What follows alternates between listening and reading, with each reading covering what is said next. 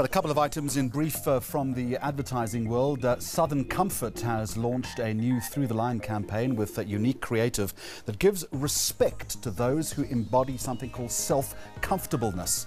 In partnership with the uh, global agency Wieden and Kennedy New York, the campaign entitled Whatever's Comfortable has just been launched locally. Ads 24 has announced the finalists of the fourth annual Think Afrikaans competition. The challenge was to design a t-shirt that would also be the cover for an Afrikaans graphic novel. The winner will be announced at the upcoming Pendoring Awards in Cape Town later this month. And the Advertising Standards Authority has ordered Cape Town Fish Market to withdraw their latest ad after complaints of it being racist. Two viewers filed complaints against the ad that depicted a black politician dictator as being corrupt. According to the ASA, the advert was discriminatory and likely to cause offence to black South Africans. Now, new research is showing an increasing number of young people are simply growing bored with traditional forms of media. A brand new online offering is aiming to change all of that by offering Generation Y news in their language. It's an initiative from journalist Daniela Lowe.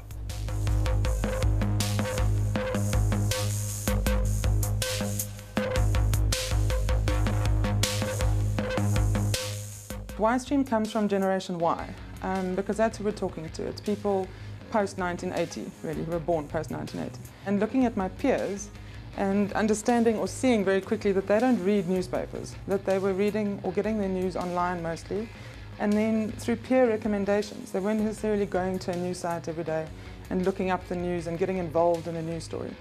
Um, and that's what gave me the idea, how do you make news hip and interesting enough for people under 30 to want to read and to want to get involved in.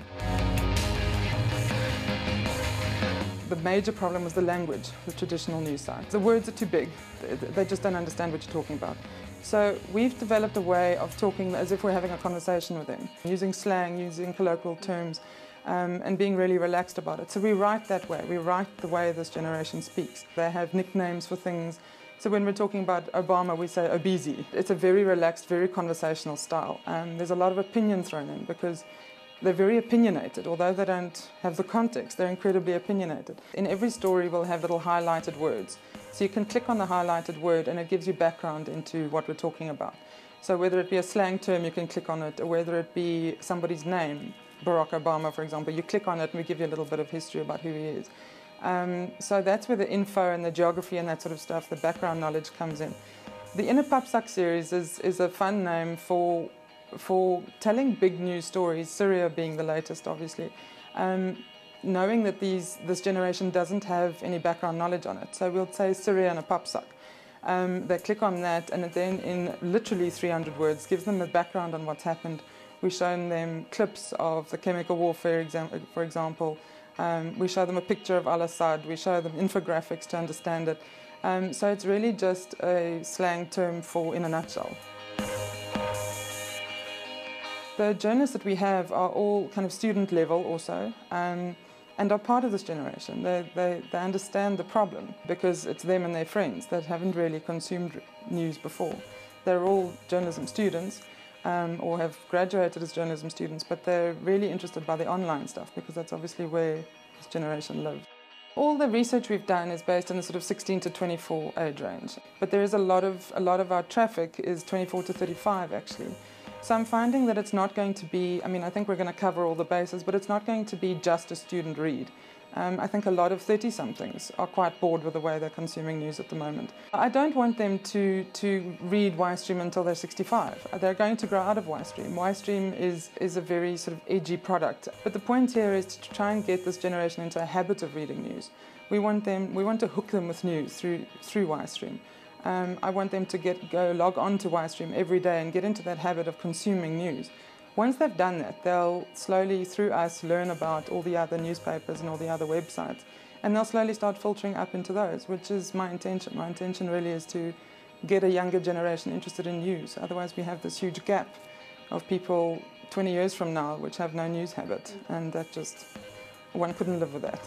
All right, let's stay with the uh, dissemination of news. And this little nugget of newspaper information from the big media agency, the MediaShop, sparked our interest. Total daily and weekend circulation from 1997 through 2013 down 23%. But listen to this total community papers are up 106% over the same period.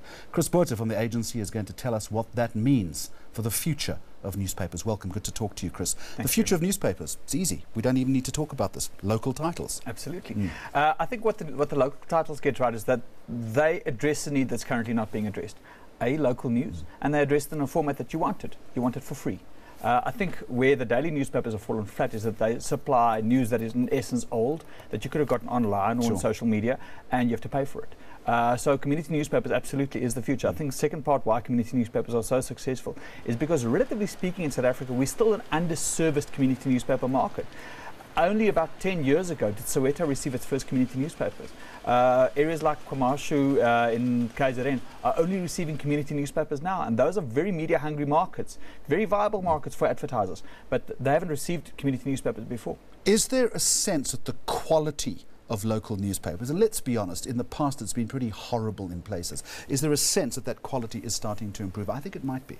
I think again it goes back to understand the understanding and getting under the skin of the local market. The hunger for that local content is absolutely massive, and that's why again in markets like mm. Soweto, KwaMashu, and even in Randburg and Sandton, you're finding that those newspapers are being effectively used by advertisers mm. and are actually being consumed by the consumer. Mm. Is the advertising strategy as far as community newspapers changing? And I'll tell you why I ask you this question. Get your community newspaper in the past, maybe even these days, you hold it upside down and you do that, okay, out come the flyers. That's still the case, but one also senses maybe agencies, brands are taking these titles a little bit more seriously. You're right in both mm. ways. So let's talk first of all about the retailers and the leaflets that you would shake out. I think I always say to people that if you go look at what retailers do, retailers are the consummate measurers of advertising. Mm.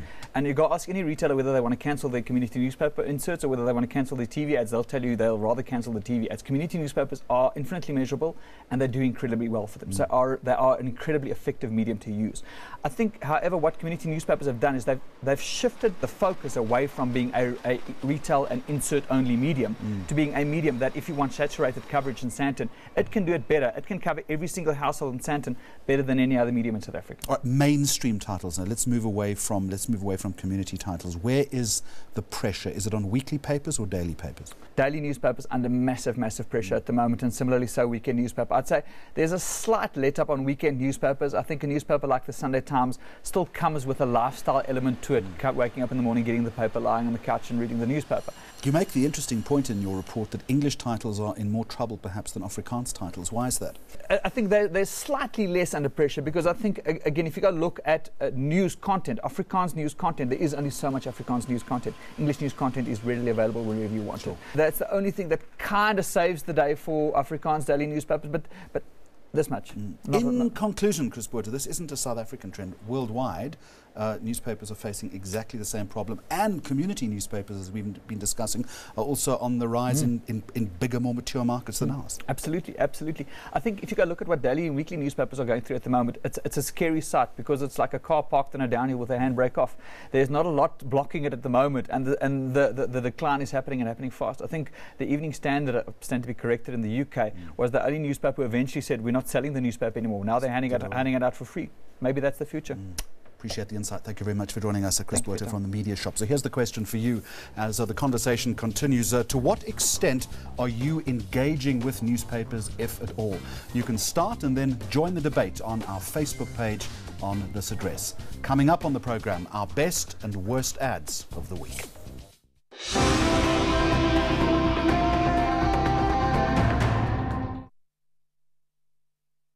News that moves. enca.com.